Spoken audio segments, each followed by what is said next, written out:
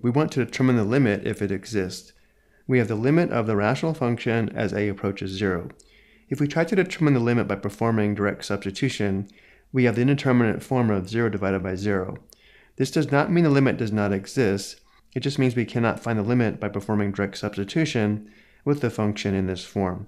We can often perform algebraic techniques to simplify a function so that we can then find the limit by performing direct substitution.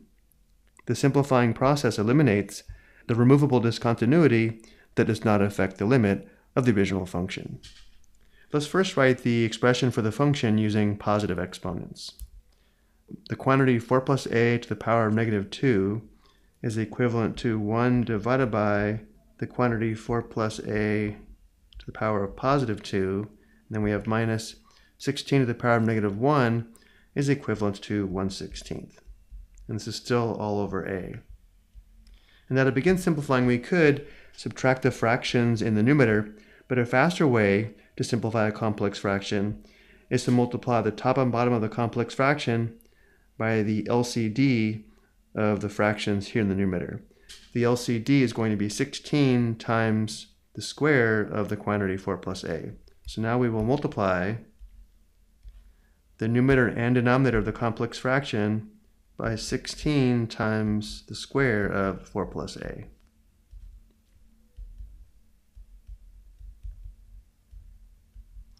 Now we'll multiply the top. If it's helpful, we can think of 16 times the square of 4 plus a as a fraction with a denominator of 1. So for this first product, notice how the square of 4 plus a will simplify out, leaving us with just 1 times 16, which of course is 16. And then we have minus for the second product. Notice how the 16s will simplify out, leaving us with just minus the square of 4 plus a. And all this is over the product on the bottom, which we'll just write as 16a times the square of 4 plus a. And now let's simplify the numerator by squaring 4 plus a. Let's do this above. 4 plus a times 4 plus a is equal to 16 plus 4a plus 4a, which is plus 8a, and then plus a squared. So now in the numerator we have 16 minus the quantity 16 plus 8a plus a squared, still all over the same denominator. And now to eliminate the parentheses in the numerator. If it's helpful, we can think of distributing negative 1.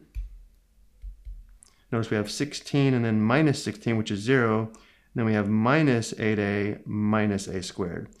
So the numerator simplifies to negative 8a minus a squared.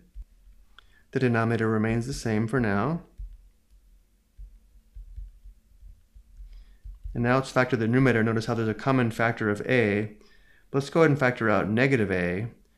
If we factor out negative a, we'd be left with positive 8 plus a, or a plus 8.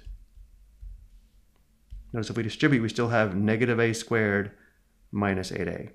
In this form, notice how we do have a common factor of a, between the numerator and denominator. So we'll go and simplify. a divided by a simplifies to 1. So the simplified rational expression is now the opposite of the quantity a plus 8 divided by 16 times the square of 4 plus a. Notice how by simplifying out the a between the numerator and denominator, we are eliminating the removable discontinuity at a equals 0, which is why we couldn't perform direct substitution to determine the limit. So now the original limit is equal to the limit of the opposite of the quantity a plus 8 divided by the product of 16 and the square of 4 plus a, as a approaches 0. Notice in this form, we can determine the limit by performing direct substitution. Substituting 0 for a, we have the opposite of the quantity 0 plus 8, all divided by 16 times the square of 4 plus 0, which is equal to negative 8 divided by 16 times 16, which is 256, which simplifies to negative 1 32nd. I hope you found this helpful.